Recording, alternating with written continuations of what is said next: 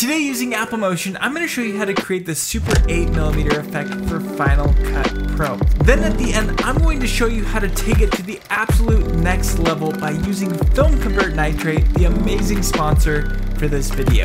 Go ahead and open up Apple Motion. If you don't get the project browser, you can push Command Option and N. From there, select the Final Cut title. Then going to the top right, you can set your preset at whatever you like. Today, I'm gonna work in 4K. Then I recommend you set your frame rate to whatever you typically work with for your videos. So I usually edit at 2398. After that, coming down to the duration, we're gonna wanna set this to an extremely long amount of time, something longer than anybody would possibly use for the effect. So I'm gonna set this to 3600 seconds, which is a full hour.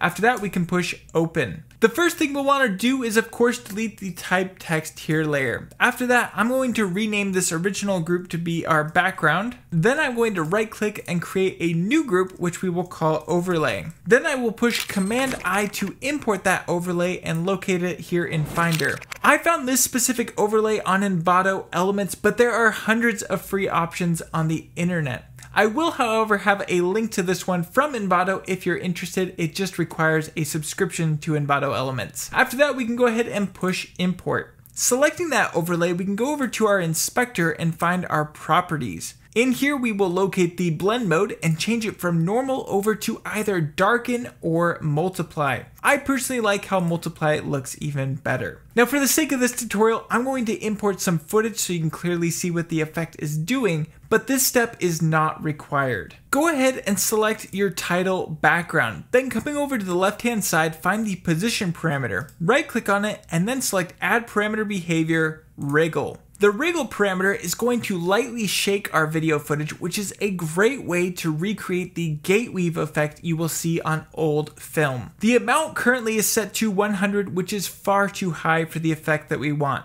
So what we will do is click on this 100 pixels and change it over to just one. After that, change the apply mode from add over to add and subtract. This enables the effect to work both in the positive realm and in the negative realm, giving it a little bit more room to work with. Coming further down, locate the noisiness parameter.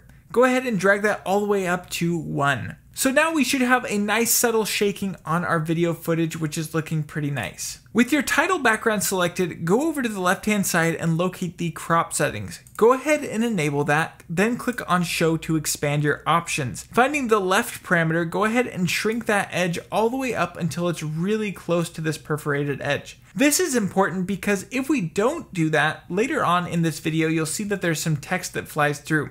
And sometimes because of the blend mode that is attached onto this overlay, the underlying footage is going to bleed through. So by cropping off that edge, we will not have that issue any longer. Now that we have that crop, we're gonna select the background group. Now, rather than creating clones directly from this title background, we're gonna wanna create them from the group because the animation is found inside of the group. So by creating a clone from that group, it's going to retain that wriggle animation that we applied earlier.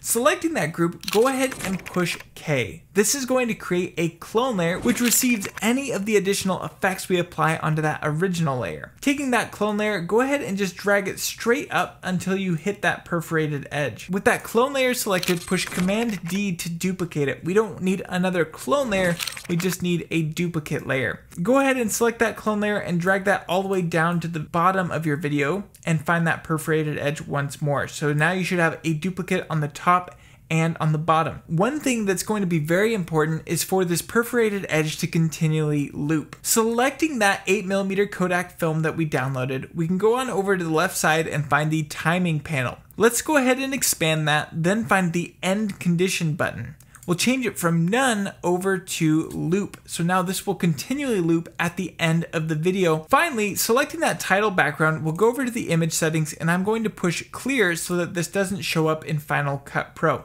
This is also going to enable me to extend out this title background to the end of our project duration. Now that we have that all set up, we can push Command A to select all of the layers, then come to the very end of our timeline.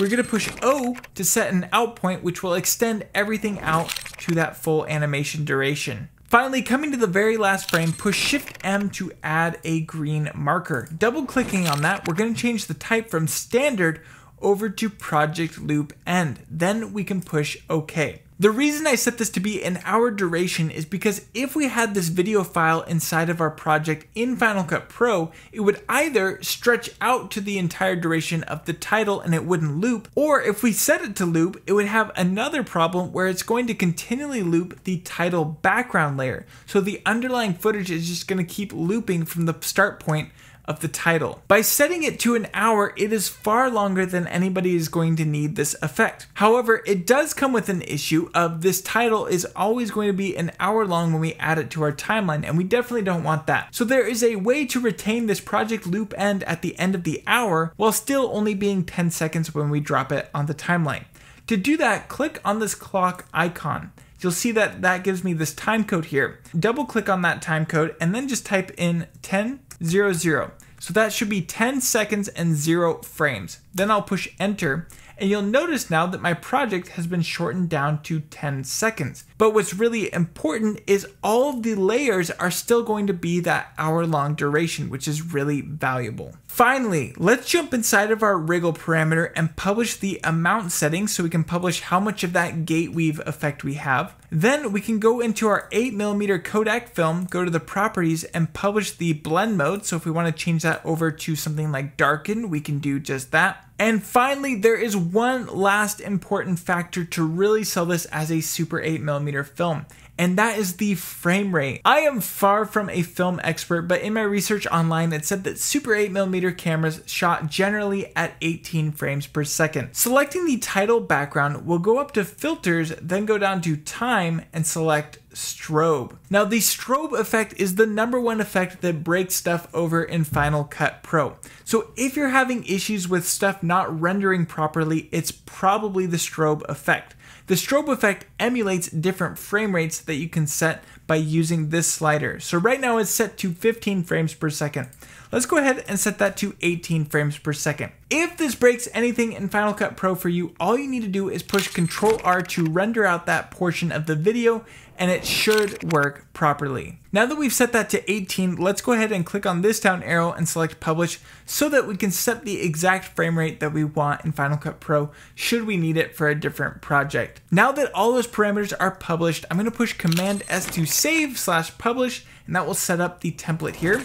And we can just call this the Super 8 effect. Then we can put this in whatever category we like. I will throw this into tutorials and push publish. Going to Final Cut Pro, we can locate the Super 8 effect that I just created and drag that down onto the timeline. And if we push play, we can start to see how this video has that Super 8 look. It's got a low frame rate, it's got the nice perforated edge, and it's duplicated up on the top and bottom, and it has a very nice slight gate weave effect to it. So this in itself is pretty cool and I spent a whole bunch of time trying to figure out the perfect coloring scheme to get this looking as closely as possible to Super 8 film, but I just was not nailing the result. And then I remembered I have an incredible plugin called FilmConvert Nitrate that could do this all for me. And so I reached out to them and they said they would love to sponsor this video. So really quickly, I'm gonna show you how to level up this particular effect by using FilmConvert Nitrate. All I'm going to do is drop in an adjustment layer. You can get this from pretty much anywhere. I'll try and have a download link to this down below.